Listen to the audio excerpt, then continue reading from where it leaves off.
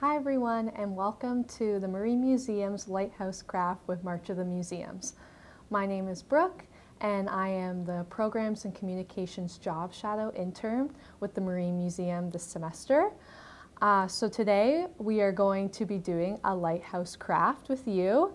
Um, but before we start, just going to give a little bit of information on the museum in itself. So the Marine Museum of the Great Lakes at Kingston is dedicated to preserving um, ma uh, maritime heritage um, of the Great Lakes, including um, providing information on local ships, including information on our heritage site of the old um, Kingston shipyards that has our dry dock and the engine house, as well as lighthouses, which we'll be creating today. Um, so thank you so much for joining us today, even though it's virtually. We're very excited to have you. And of course, if you're looking um, for more information on the museum, you can visit our website at marmuseum.ca and you can also sign up for our newsletters to keep up to date on programs that will be coming in the future. So let's get started. Here is all the materials that are included in your kit and then we're going to go over the materials that you'll be using starting with the red cup, the clear cup, the black piece of paper, a tea light, the little container of white paint, a paintbrush which you'll use from the Murney Tower kit, um, a pair of scissors which you may want an adult's help with using, a pencil or pen, and you can either use glue or tape or something that'll be sticky. So to get started, we are going to take our red cup and turn it and place it upside down. I'm going to move the rest of the materials out of the way for now.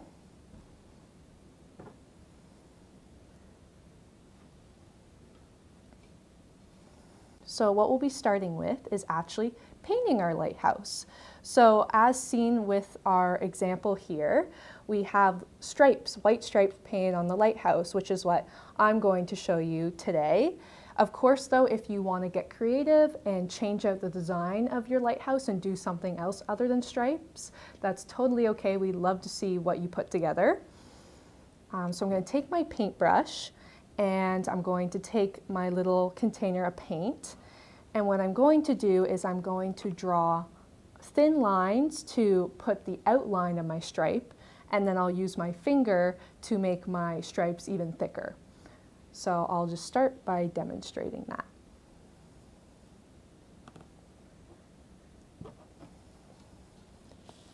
So you're going to take your paintbrush, and I'm going to start at the bottom. And then instead of moving my paintbrush around, I'm going to turn the cup with my paintbrush so that it can, it's a lot easier to move and it keeps the line straight. You may notice as well as you're painting your lines, they, you can see a lot of the redness from the cup coming through and that's okay because we'll be doing a second layer to make the lines more thicker and more white.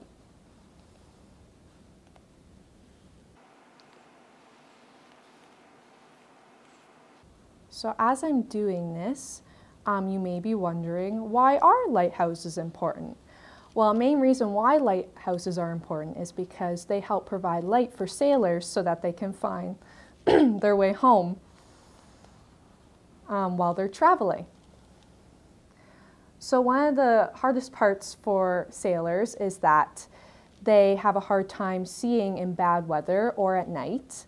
So what lighthouses do is that they provide light so that um, they can see the coastline and that they um, avoid running into any rocks that may cause shipwrecks.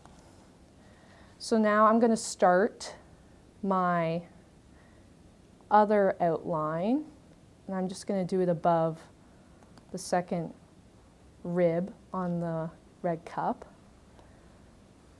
And go around just like I did before, turning the red cup.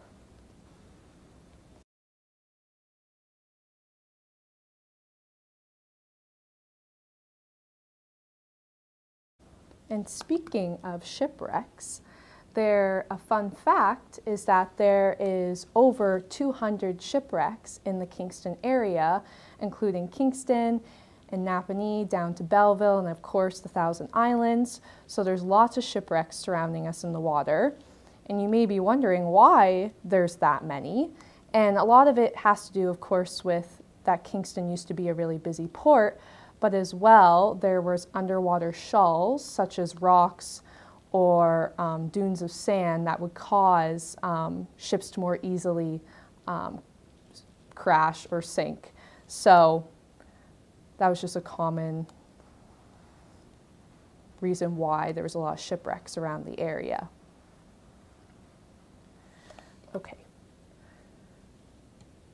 So I'm going to put my paintbrush down for now. And so the next step is you're going to want to take your finger and then you're going to provide the outline. So I'm going to use my pointer finger because it's a bit bigger to help with doing the outline. I just have a little dab just to try it out. So I'm going to lift my cup so I can angle it better. And again, I'm just going to turn my finger with the cup and go around to make my lines thicker.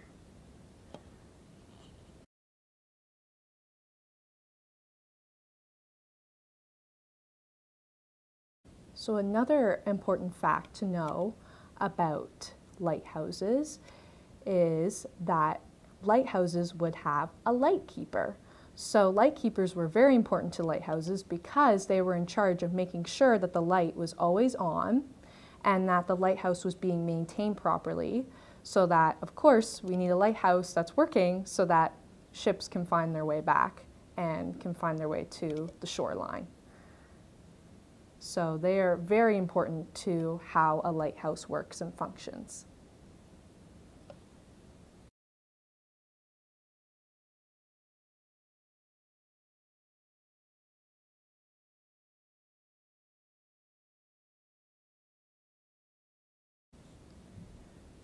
So I've gone all the way around and there are a few red spots that I can see, but when I do my second layer, I'll make sure to fix that up. So it's okay if you have a bit of red spots on your cup. So again, you're gonna take your paintbrush and you're gonna repeat the same steps as before. So doing the two lines and then, of course, filling it in with your finger. Just gonna slowly turn my cup so I keep my line straight as I'm going around.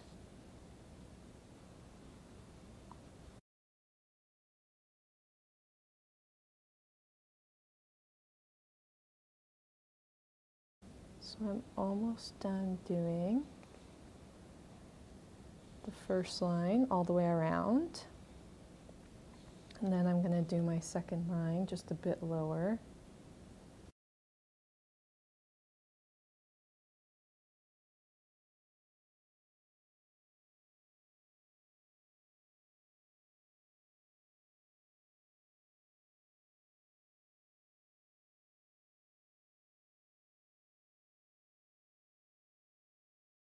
All right, so I've done my second line and now again, I'm going to take my finger and dab a little bit of paint.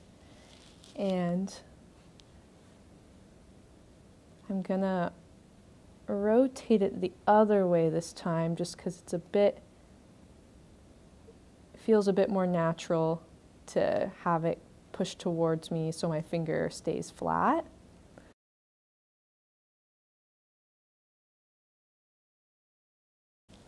So a little bit more history on lighthouses is I'm going to talk a little bit about ancient lighthouses and how they used to work.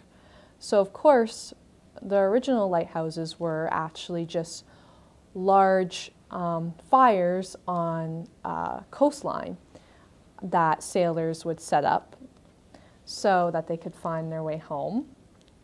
But of course, this system didn't work out very well because having large fires on coastlines isn't always the most effective way to see um, anything. And so most of the times it wasn't very effective and sailors didn't see the light because it would take lots and lots of fire in order for it to be really noticeable from the shorelines, especially if it was at a low level. Um, which is why they invented the open flame lighthouse. And so how the open flame lighthouse worked is that it was built on a tall structure. They designed a tall structure and then had an open flame going at the top of it, um, especially at night.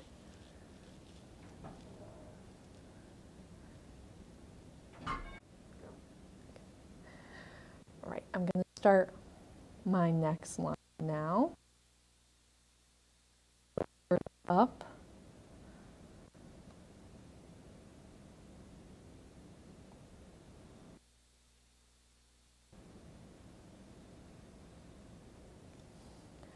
So as an, an example of an open flame lighthouse um, was a famous one from ancient Egypt called the Lighthouse of Alexandria, which was built by um, Ptolemy II.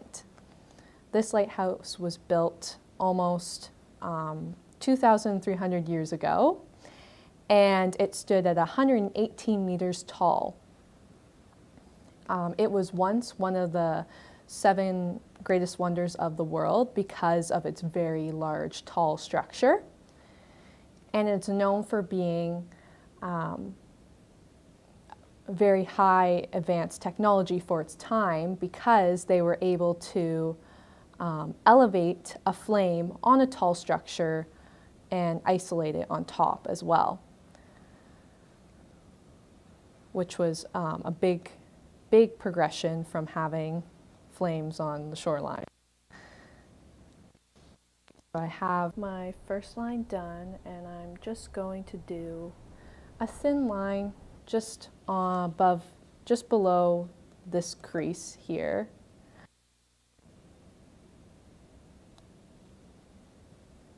And go around.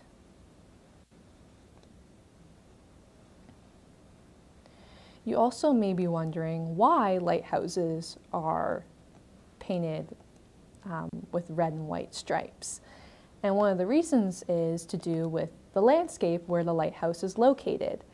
So um, white and red lighthouses that have stripes like this one uh, were mostly used on landscapes that were darker or lighter, such as a white landscape, as rocks or cliffs, so that they could be more noticeable to sailors.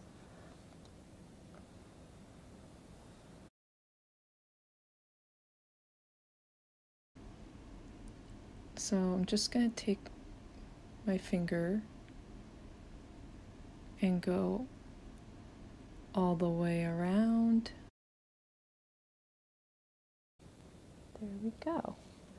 So just to kind of finish it off, I'm going to do one more little stripe um, where it's kind of ribbed at the top.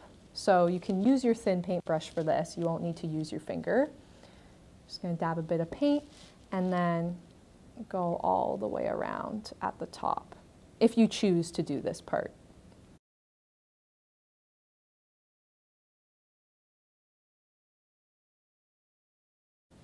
And there we go.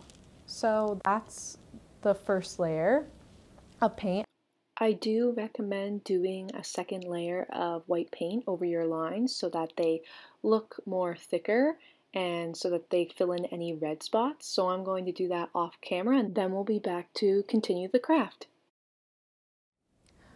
Alright, so I've done my second layer of the paint for the lighthouse. Um, something else to know while you're also painting your second layer, if you have any areas from when you were painting with your finger that kind of globbed up a lot, you can go back with your finger to smooth it out. You can use the paintbrush to smooth out any areas that may have um, globbed up from the paint. Um, but while we wait for, while you're waiting for your paint to dry again, we'll do the next step um, with our black piece of paper. So what we're going to do is we're going to take our clear plastic cup and we're going to turn it upright. And you're going to take your pencil and trace the bottom circle of the cup onto the black piece of paper.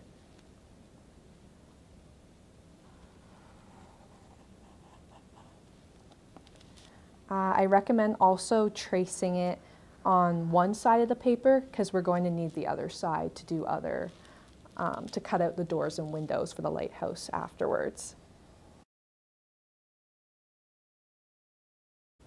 Okay, so I'm just gonna make it a bit darker so you can see. So there's the outline of the bottom of the cup. So now you're going to take your pair of scissors. Um, you may want a parent or a guardian to help you with this part and you're going to cut out your um, circle.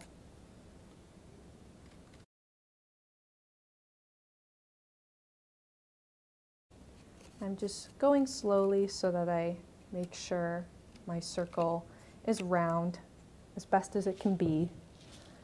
Um, and then for now, you're going to put that off to the side and we're going to come back to it. So now the next step will be creating our doors and windows for the lighthouse. So the example here, you have like a little small door and a window, um, but feel free to do more than one window or make them as large or small as you want. It's your lighthouse, so get creative and um, design it any way that you'd like. You can even add different features than windows or doors if you want. It's totally up to you. So for mine, I'm going to do two windows and a door and I'm going to draw them out before I cut them.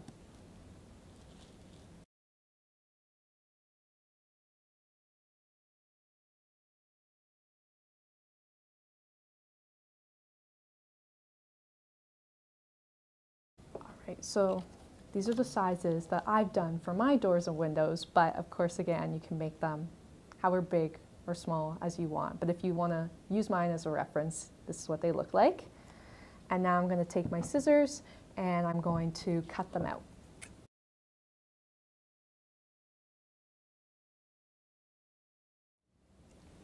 All right, so now I've cut out my door and my two small windows and I'm going to now glue them onto the lighthouse, but of course you can also use tape or sticky tab, um, something that'll stick it to the cup. I'm going to use a glue stick. I'm just going to put a little bit onto the door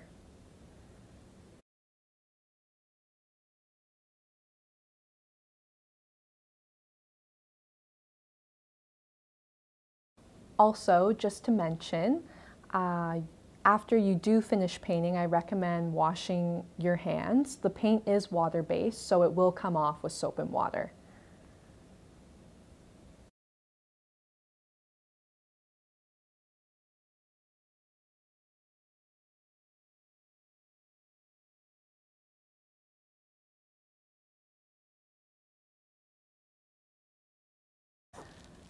That's what it looks like currently.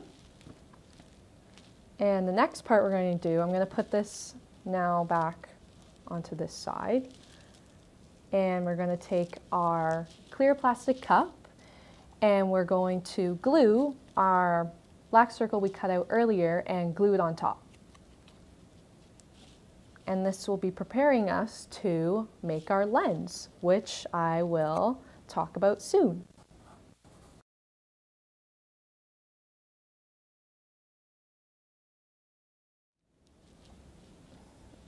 That's what it will look like. And I recommend just like pressing it down a bit so that it stays on tight. It doesn't pop up. And if it does, you can always add a bit more glue. Um, but yeah, so the next part will be, of course, um, cutting the cup to create our lens, but to give a little bit of a history lesson on lenses, as we talked about before, the open flame lighthouse um, existed for a long time, but was replaced after in 1822 when a Frenchman, Frenchman named Augustin Jean um, Fresnel um, designed the, Fre the Fresnel lens. And of course, here I have one behind me. How it worked was there was, of course, a light inside of it. Um, and of course, it looks like a glass beehive. And the light inside of it would become concentrated by um, refracting and reflecting off of the different prisms and lenses of the light of the lens of the lens and it would then exit all in one direction and it would reach um, further distances over the horizon of water.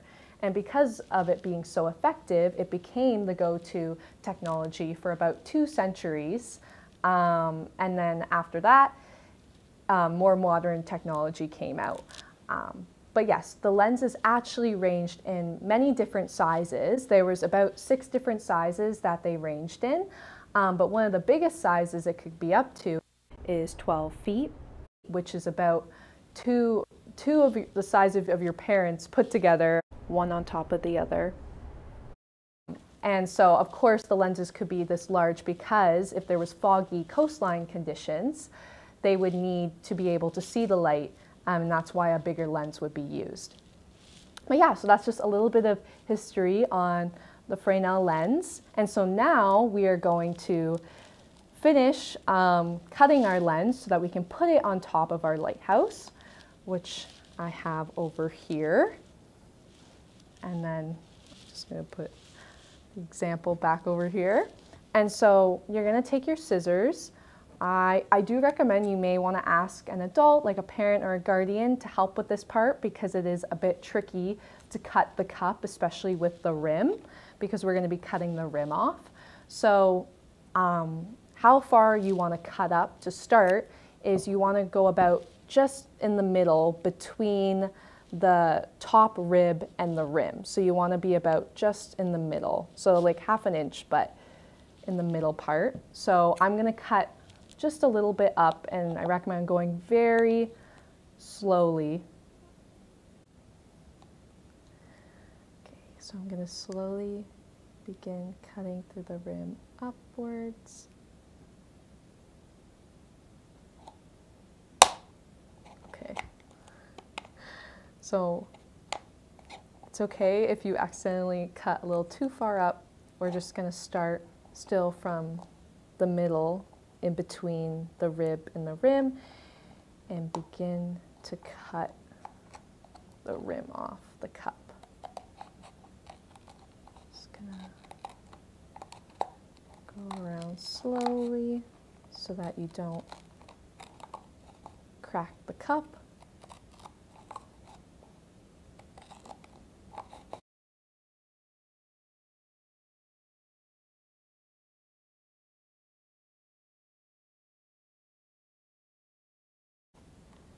To reach the end. You now have your rim off, which is good. So you can put that off to the side. I'm just going to, as you can see, it just kind of got a little rough near the end. So I'm just going to trim that part off so it looks even for when I put it onto the lighthouse. So now our lens is ready to go on top, but of course, last but not least, we need our light for our lighthouse. And as you can see, there's a switch at the bottom that you're going to turn on for your light. Um, and this light is artificial light um, rather than natural light. So natural light comes from the sun and artificial light um, is created through like either electricity or batteries such as this one um, and things like light bulbs or flashlights. So now we're going to put our light on top of our lighthouse take our lens and our roof and put it nicely on top and just push down a bit slightly so it stays on. And now you have your finished lighthouse.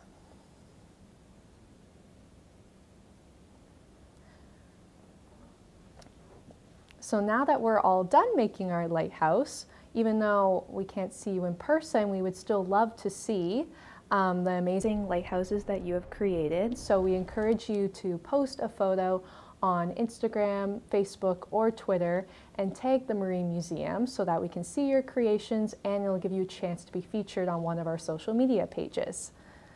Um, as well as, as you've noticed in our little display here, we have little paper origami um, boats. And you can find the video on YouTube, um, on our YouTube channel, where you can create those as an extra activity to do at home with your family or friends.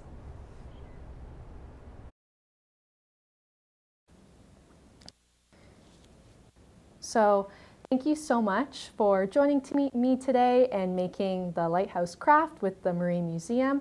Um, you can come and visit us in person at the Portsmouth um, Olympic Harbor where we are located currently and we're open from 10 to 4 p.m. Um, Monday to Friday. And then of course, um, coming up this later this spring and early summer, we'll be moving back to our historic site located on 55 Ontario Street. So keep an eye on our website and check out our newsletters um, to know when that move will be happening and what programs um, will be held there in the future. So thank you everyone and bye.